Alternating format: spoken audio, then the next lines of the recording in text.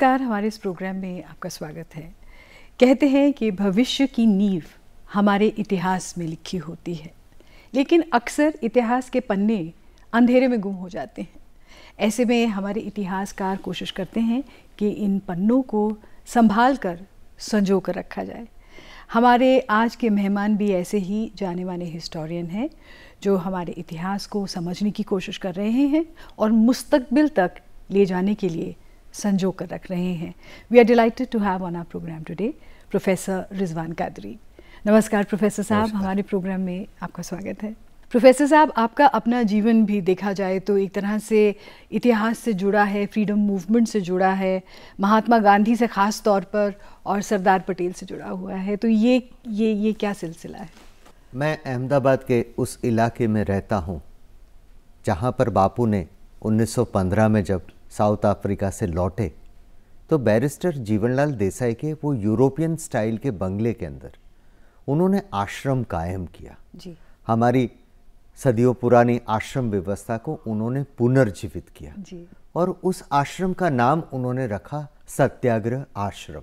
उससे पाँच साल पहले मेरे ग्रैंडफादर दादाजी भी वॉल सिटी एरिया से इसी कोचरब एरिया में आके सेटल हुए थे। गांधी जी को जिन्होंने अहमदाबाद में बसाया सेटल किया वही डॉक्टर हरिप्रसाद देसाई जो मेरी दादी के गाँव के ब्रह्म क्षत्रिय थे उन्होंने ही मेरे ग्रैंडफादर को भी यहाँ कोचरब एरिया में बसाया। जब से मेरी आँख खुली समझता हुआ तब से हमारा ये बापू का आश्रम सत्याग्रह आश्रम वो एक ज़िंदगी का पार्ट रहा और हमारा खुद का अपना पैतृक मकान भी गांधी हेरिटेज साइट है। अच्छा। क्योंकि जब गांधी जी सत्याग्रह आश्रम से साबरमती नदी की ओर जाते थे तो हमारे घर के बाहर जो चौक है वहाँ पर गांधी जी बैठते थे। हमारे दादाजी और आस पड़ोस के लोगों से संवाद होता था इंटरेक्शन होता था। इस वजह से गांधी जी के साथ जुड़ना हुआ। हाँ। और मेरे पिताजी के कजिन ब्रदर मुस्तफ़ा मियाँ कादरी जो अहमदाबाद के प्रथम डेप्यूटी मेयर भी थे। जी। तो वो 1916 से सरदार के साथ ही थे और हमारा पूरा फैमिली नेशनलिस्ट फैमिली के तौर पे आज भी जाना जाता है माना जाता है। मुझे तो पता नहीं था कि मैं इतिहास के अंदर कोई संशोधन करूँगा। और इसी वजह से जो बचपन में जो संस्कार मिले इसी वजह से मेरे संशोधन के विषय उन्हीं को केंद्र में रखते हुए आगे पीछे ही मैंने काम किया है। तो जो इतिहास हम लोग किताबों में पढ़ते हैं वो आपके जीवन का आपके वडील आपके बड़ों का एक हिस्सा रहा है। हम दुनिया भर का अगर इतिहास जानते हैं मगर अपने रूट्स हमारी फैमिली को नहीं जानते तो हमको ये जानना होगा जैसे अहमदाबाद जो बसाने वाले चार अहमद थे उसमें से चौथे अहमद हमारे ग्रेट ग्रैंडफादर थे। अच्छा। तो पूरा फैमिली ट्री का भी मुझे नॉलेज है मुझे सिर्फ़ नॉलेज नहीं मेरे बेटे को भी ये नॉलेज मैंने आगे बढ़ा है। हाँ। जिससे पता चले कि हमारे रूट्स क्या हैं। हम गांधी का क्लेम करते हैं सरदार का क्लेम करते हैं हमारे राष्ट्रपिता हैं। उन राष्ट्रपिता से हमारा क्या नाता रहा है? हाँ। और ये सत्याग्रह आश्रम हमारे अहमदाबाद को वर्ल्ड हेरिटेज सिटी की पहचान मिली है। क्यों मिली है? गांधी का अहमदाबाद है सरदार का अहमदाबाद है। ये शहर ने देश को समर्पित किया है महात्मा सौंपे हैं। हाँ। ये देश ने बैरिस्टर वल्लभ भाई में से सरदार की लीडरशिप पूरे दुनिया को बताई है कि सत्य क्या था सत्याग्रह क्या था अहिंसा क्या थे अहिंसा की क्या प्रचंड ताकत थी। गांधी ने अपने जितने भी प्रयोग किए तो ये सत्याग्रह आश्रम कोचरब में किए। उसके बाद वही नदी के किनारे साबरमती में उन्होंने आश्रम दो साल के बाद शिफ्ट किया। तो वो शिफ्ट करने की वजह क्या थी? क्यों शिफ्ट किया? बगल के अंदर साबरमती सेंट्रल जेल थी। और बगल में स्मशान था। फना होने के लिए निकले हैं। हाँ। ये सत्याग्रह आश्रम जब शिफ्ट किया जी। उससे पहले गांधी जी ने 1915 की साल में क्या क्या किया? तो वो पूरी उनकी हाथ की लिखी हुई एक हैंड रिटन डायरी है।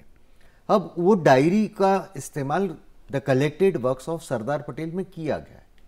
पर नेशनल गांधी म्यूज़ियम में ओरिजिनल डायरी है। वो ओरिजिनल डायरी में 45 लोग के एड्रेस हैं। शुरुआत के अंदर जो एड्रेस दिए गए वो एड्रेस द कलेक्टेड वर्क्स ने इस्तेमाल नहीं किया गया अच्छा। ये 45 लोग कौन थे? इनका गांधी जी से क्या जुड़ाव था?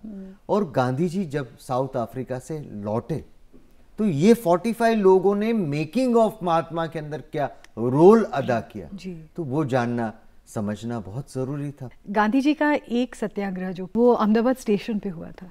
वो बॉम्बे से आए रेलवे स्टेशन पे रुके और राजकोट की ओर जा रहे थे। तब डॉक्टर हरिप्रसाद देसाई ने उनका रिसेप्शन रखा। तो अहमदाबाद के जितने भी वो जमाने के लीडर्स थे, वो इस्तेकबाल के लिए अर्ली मॉर्निंग रेलवे स्टेशन पे पहुँच गए। तब गांधी जी के लिए वहाँ पर चाय नाश्ता रखा गया था, गर्म दूध रखा था और ड्राई फ्रूट्स रखा था।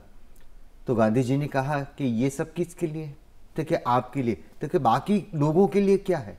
तो कि उनके लिए नहीं तो क्या मैं खाऊँगा तो वो मेरा मुँह देखेंगे? अच्छा। ये लोग मुझे मिलने के लिए आए हैं मेरा इस्तेकबाल करने के लिए आए अगर चाय नाश्ता है तो सबके लिए होना चाहिए। तब पहली बार अहमदाबाद के लोगों को अहमदाबाद के लीडर्स को इनके एक मिजाज का परिचय हुआ कि ये क्या बंदा है बंदे में क्या दम है। हाँ। और जब वो आफरी वो राजकोट से वापस आए तो वो जमाने में एक ऐसा ट्रेडिशन हुआ करता था कि बग्गी गाड़ी में बिठाते हैं घोड़ों को निकालते हैं और सभी लोग हैं आम जनता है हाँ। लीडर्स है वो बग्गी को खींचते होते हैं। तो गांधी जी ने कहा मैं नहीं बैठूँगा। अच्छा। इस तरह से अमानवीय क्या व्यवहार है? हाँ। अगर आपको चलना है तो मैं पैदल आपके साथ चलता हूँ। चलो। गांधी जी तो अहमदाबाद म्यूनिसपालिटी के सदस्य बनना चाहते थे। अच्छा। ये डॉक्टर हरिप्रसाद को कहा उन्होंने कि आपके डिस्पेंसरी के बाहर मेरा नाम का एक बोर्ड लगा दो। एम के गांधी बैरिस्टर और मैं अहमदाबाद के बार में एज ए बैरिस्टर अपना नाम एनरोल कराऊँगा। और एनरोल कराने के बाद मैं अपने आप ही म्यूनिसपालिटी का वोटर बन जाऊँगा क्योंकि मैं तो शहर के बाहर रहता हूँ। और मैं सफ़ाई करूँगा सफ़ाई अभियान चलाऊँगा। और गांधी ने जो झाड़ू उठाया 1915 की साल में और वो झाड़ू अलग अलग क्षेत्र में चला सामाजिक क्षेत्र में चला आर्थिक क्षेत्र में चला और उन्होंने राजनीति के अंदर जो झाड़ू फिराया राजनीति की language language of politics change हो गई। मातृभाषा का महत्व राजनीति के अंदर पहली बार अगर किसी ने बढ़ाया तो वो महात्मा गांधी ने। और उन्होंने अर्थ कारण कैसे बदल दिया? सितंबर महीने की 11 तारीख को उन्होंने अनटचेबिलिटी के खिलाफ एक ऐलान कर दिया। जी। और दूधाभाई दाफड़ा को उन्होंने प्रवेश दिया।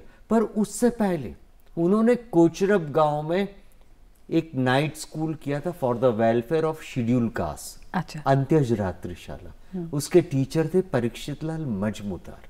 अच्छा। और जिनको सेवा मूर्ति परीक्षित लाल के नाम से जाना जाता है। हाँ। और उस नाइट स्कूल के अंदर पढ़ने के लिए एक बच्चा, बारह साल का बच्चा वाड़द से आता था, वो था छगन। बापू ने छगन को गले लगाया और वो बना आगे जाके एक नामांकित चित्रकार छगन लाल और छगन लाल जाधव ने जो चित्र बनाए, उसकी अपनी एक बहुत लंबी कहानी है। और कहानी तो खैर वो भी लंबी है, लेकिन वो चित्र आपको मिले कैसे? अहमदाबाद वर्ल्ड हेरिटेज सिटी है। और अहमदाबाद वर्ल्ड हेरिटेज सिटी की एक पहचान है अहमदाबाद का गुजरी बाज़ार। जी। 600 साल पुराना ये मार्केट जहाँ पर पुराना कबाड़ आता होता है। उस मार्केट का मैं रेगुलर विजिटर हूँ। मुझे वहाँ बहुत सारे बापू के ओरिजिनल लेटर्स भी मिले हैं। कई लोगों को उन्होंने हस्ताक्षर करके जो भी भेंट दी थी किताबें वगैरह भी मुझे वहाँ से मिली है। अच्छा। और काका साहब कालेलकर का कलेक्शन किशोरलाल मशरू वाला का कलेक्शन ऐसा बहुत बड़ा कलेक्शन मुझे वहाँ से ये कबाड़ में से फ्ली मार्केट से मिला था। जी। तो एक बार जब मैं 2015 की साल में अहमदाबाद सिटी पुलिस के लिए एक प्रोजेक्ट के लिए काम करता था तो उस टाइम पे ज़्यादा मैं फोकस गांधी जी के लिए हम क्या इस मेमोरियल में रख सकते हैं? क्यों? दो शहीद की याद का ये मेमोरियल था जो गांधी जी के बताए रास्ते पे चलते थे। जी। तो वहाँ मुझे कुछ रखना था। एक हट के चीज़ रखनी थी और अचानक ही मेरे कल मुझे एक चित्र पोथी मिली हाँ। और देखा जादव। मैं समझ गया कि ये जादव मीन्स छगनलाल जादव की बात है। कराड़ी शिविर हाँ। दांडी शिविर नवसारी शिविर। तो फिर मुझे समझ में आया कि अरे ये ड्राइंग बुक तो दांडी कूच के दौरान छगनलाल जादव ने अलग अलग छह स्पॉट पे इसमें ड्राइंग्स बनाए। मगर ये चित्रपुथी की खूबी ये थी कि जब गांधी जी ने आश्रम डिसबैंड किया बिखेरने का तय किया हम लोग ऐसा मानते हैं कि बापू 12 मार्च के बाद कभी भी साबरमती के गांधी आश्रम में लौटे नहीं हैं। जी। तो मुझे ये चित्रपोथी से एक पता चला कि नहीं गांधी जी 29 जुलाई 1933 को और 31 जुलाई 1933 को आश्रम में दो बार आए थे और एक अलग प्रसंग में भी आए थे। कुल तीन बार आश्रम में आए थे आफ्टर दांडी मार्च तो छगनलाल ने अलग अलग छह स्पॉट पे इसमें से जो रेखांकन है वो गांधी जी के बनाए। गांधी जी का कैसा मूड रहता था कैसे थकते थे क्या उनकी दैनिक क्रिया रहती थी? सबसे खूबी की बात है कि कराड़ी शिविर में भी गांधी जी के साथ छगनलाल रहे। छगनलाल के साथ नस... जेल भी गए? हाँ, हाँ। छगनलाल के नसीब में बापू के साथ जेल में जाना भी लिखा था। हाँ। और उस जेल यात्रा के दौरान छगनलाल ने कैसे पदयात्रियों के जेल के यात्रियों के साथ जुल्म होता? सरफरोशी की तमन्ना क्या थी? इसका हमको दृष्टांत अंदर मिलता है कि एक कैदी जादव नाम का कोई कैदी था हम्म। नासिक जेल में। उसको बेरहमी से बांधा गया है। हाथ में भी जंजीरें हैं पैर में भी जंजीरें हैं। हम्म। एक जानवर के साथ भी ऐसी बदसलूकी नहीं होती है। तो ये हमको इस चित्रपोथी में देखने को मिलता है। और उसके बाद 1931 में सरदार वल्लभ भाई की अध्यक्षता में जब कराची कांग्रेस का अधिवेशन हुआ कराची में अधिवेशन हुआ तो अहमदाबाद से कई नौजवान साइकिल लेके गए थे हाँ। तो मुझे तो ये समझ में नहीं आया तो उनका रूट कौन सा आज तक मैं समझ नहीं पाया कि वो लोग कौन से रूट से कराची पहुँचे होंगे हाँ। मगर कराची से छगनलाल शिप में बैठ के आग बोट लिखा है अंदर हाँ।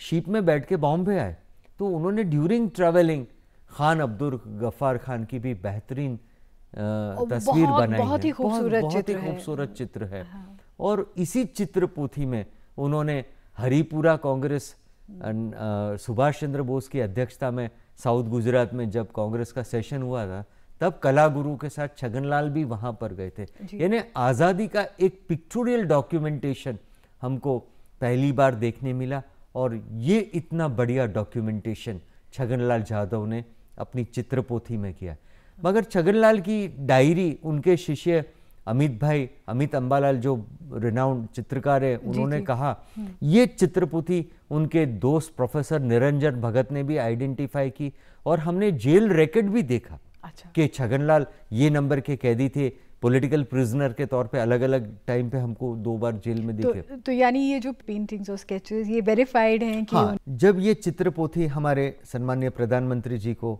दिखाई गई तो वो बहुत खुश है और उन्होंने कहा कि इसको क्या आगे किया जा सकता है।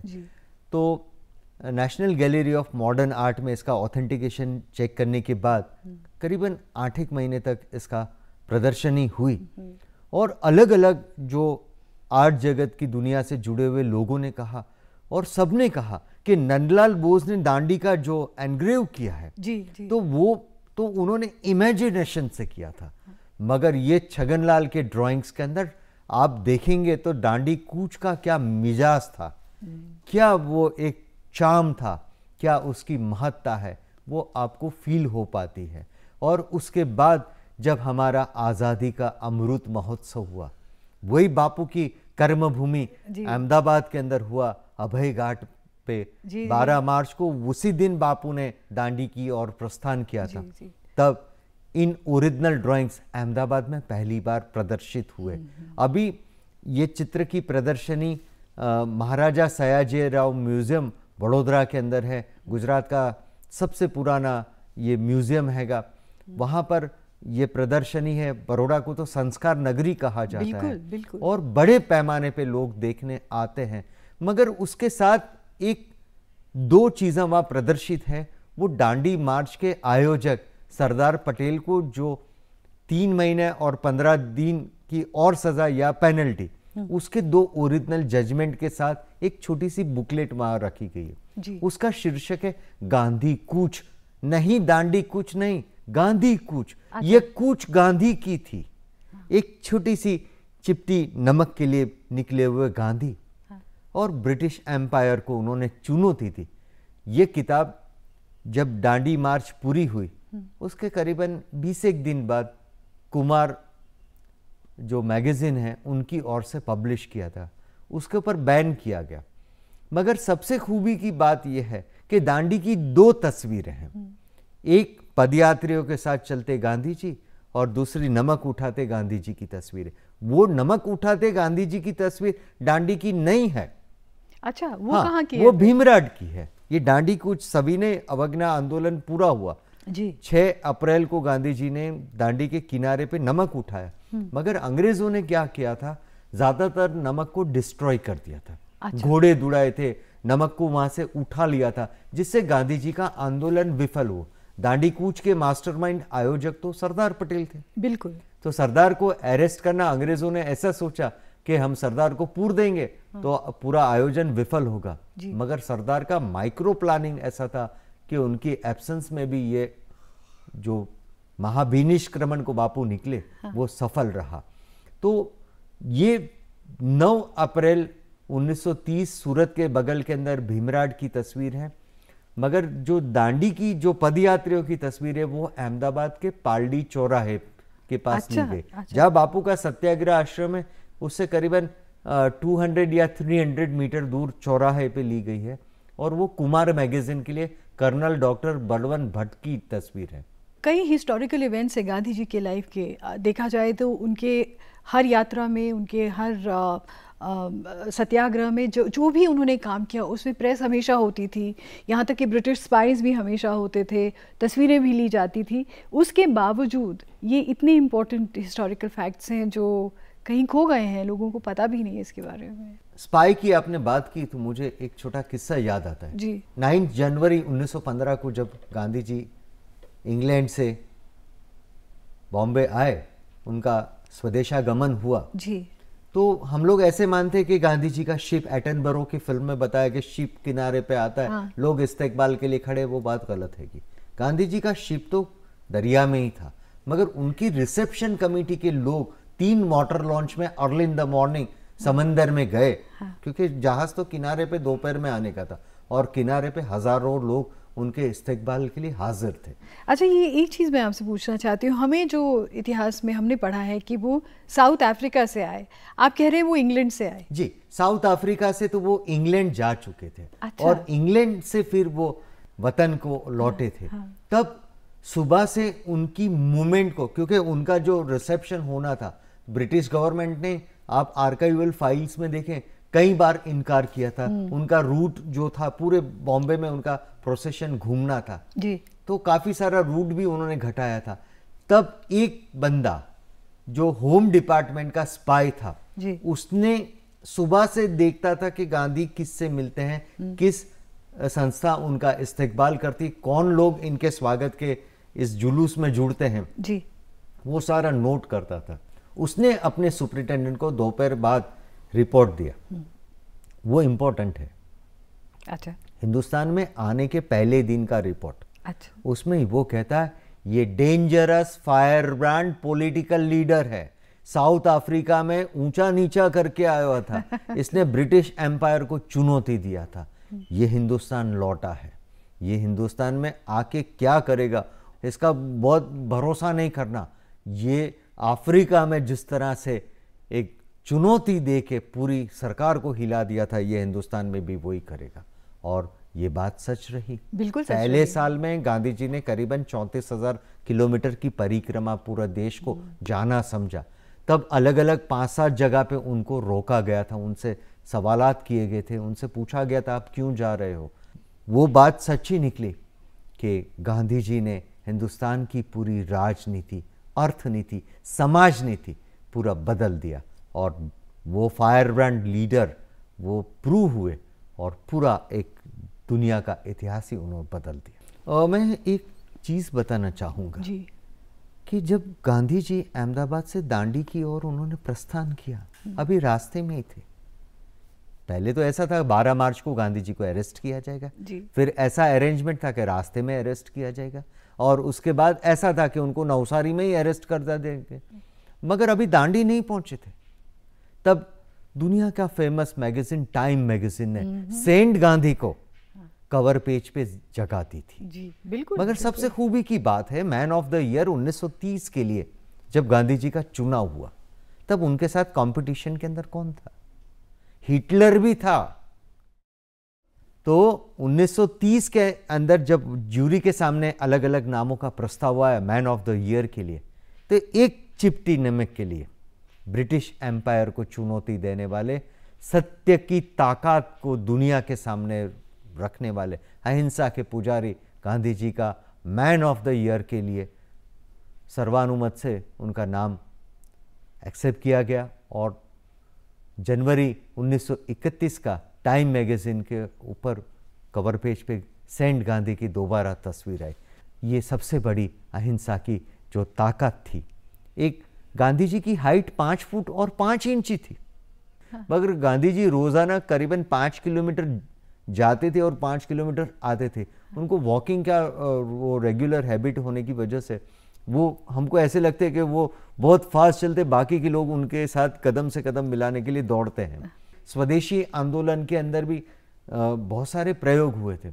मगर गांधी जी ने हैंड विविंग के एक्सपेरिमेंट्स किए और फिर उनको पता चला कि ये चरखा तो ऐसा है हम्म। कि पूरे हिंदुस्तान के गांव-गांव में बसा है और चरखे के माध्यम से ही हम पूरे लोगों को जोड़ सकेंगे यानी लोगों को कनेक्ट करना हाँ। किस तरह से किस माध्यम से कनेक्ट करना वो गांधी जी जानते और, और आपने जो जो रिसर्च की है उसके बारे में हमारे साथ एक मेहमान इस वक्त जुड़ रहे हैं जो आपके बारे में कुछ कहना चाहते हैं तो आइए देखते हैं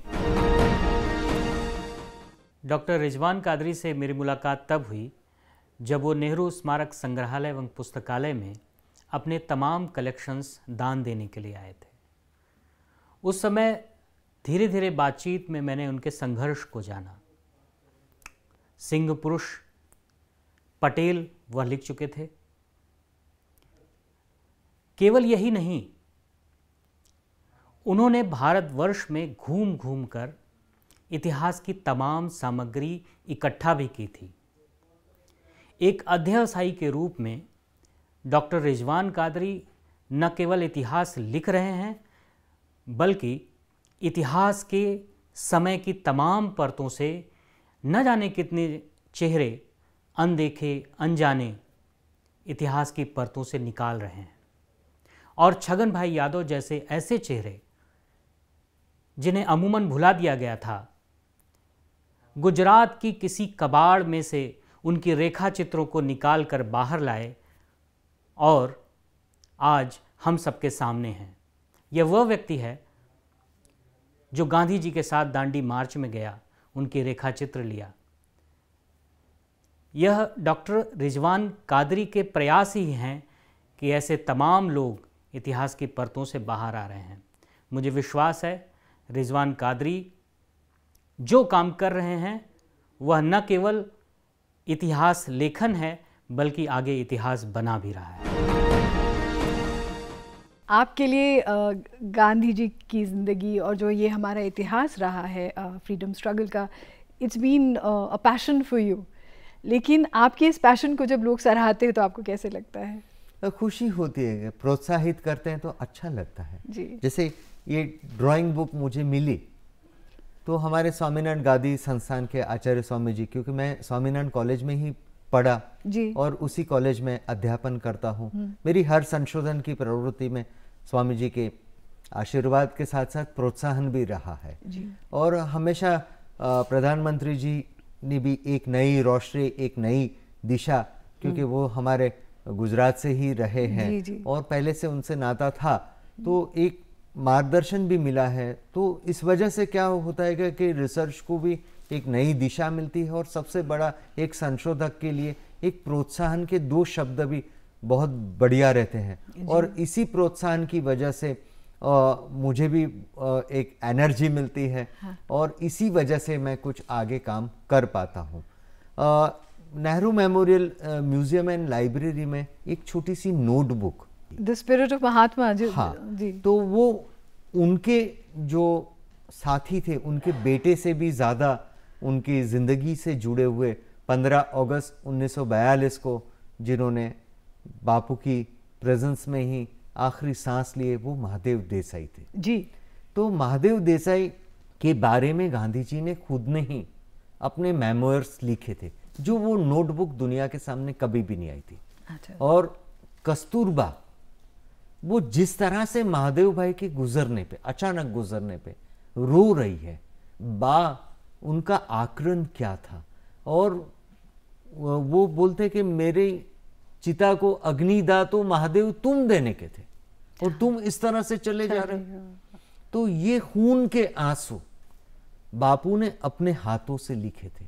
ये मुझे मिले यहाँ नेहरू मेमोरियल के अंदर। फिर मैंने देखा कि अरे, ये तो कलेक्टेड वर्क्स में नहीं है हाँ। तो ऐसी कई सारी चीज़ें हैं जो इतिहास से जुड़ी हुई है मगर सामने नहीं आई जैसे सरदार पटेल के साथ जुड़ा हुआ सरदार का जो टाइटल है इल्काब है हम्म। हम ऐसे मानते हैं बारडोली सत्याग्रह में मिला है हाँ। गलत बात 1924 में सरदार पटेल ने अहमदाबाद म्यूनिसपालिटी के अध्यक्ष होने के नाते 222 दिन सफ़ाई का अभियान चलाया था तब गांधी जी ने गुजराती में एक बहुत अच्छा सा अपने अखबार में भी लिखा था हाँ। कि જ્યાં વલ્લભભાઈ જેવા કચરા પટ્ટીના સરદાર હોય ત્યાં મારે કશું કરવા પણ હોય જ नहीं यानी कि जहां वल्लभ भाई जैसे कूड़े करकट के सरदार हैं हाँ। जो अभियान को सरदार का मतलब क्या होता है लीडर बारडोली सत्याग्रह से पहले चार साल पहले सरदार का इल्का बापू ने दिया मगर बापू ने वही 1924 की साल में वल्लभ भाई को सिंह पुरुष का भी इल्का दे अच्छा जी वल्लभ भाई की भी हाइट गांधी जी जितनी ही थी हम्म। पाँच फुट चार इंच पाँच इंच के करीब थी मगर उनकी आँखों में जो चमक थी उनका असेसमेंट था उनको शब्दों की ज़रूरत ही नहीं पड़ती थी हम्म। उनको जो भी कहना था सिर्फ़ अपनी आँखों से ही कह देते सामने वाला समझ जाता था उनका एंगर भी देख सकता था हाँ। उनकी बात क्या सरदार कहते हैं तो बापू ने 1924 में सरदार की शक्तियों का परीक्षण करते हुए उन्हें सिंह पुरुष के इल्काब से भी नवाजा आपकी फैमिली में जो बात या बापू से जुड़ी हो या सरदार पटेल से जुड़ी हो जो उनके पर्सनल एक्सपीरियंसेस हैं उसमें से आपको कौन सी याद आती है इस वक्त? मेरे पिताजी के खुद के भी मेमोयर्स हमेशा कहा करते थे कि आप जिस ओटे पे खेलते हो उसका लिहाज रखा करो।